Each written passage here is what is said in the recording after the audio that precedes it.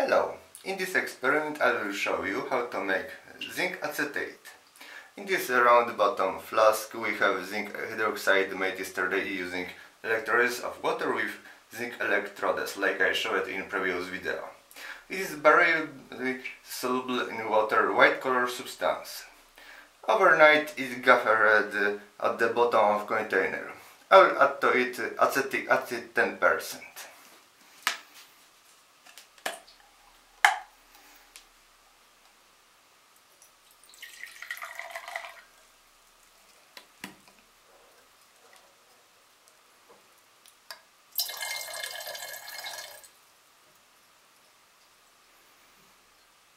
Slightly more.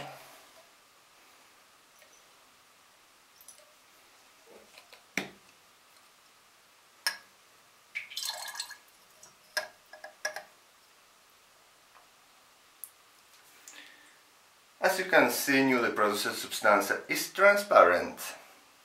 You can boil it uh, to evaporate excess of water and leave it in the remaining solution until zinc acetate crystal grows. Thank you for watching.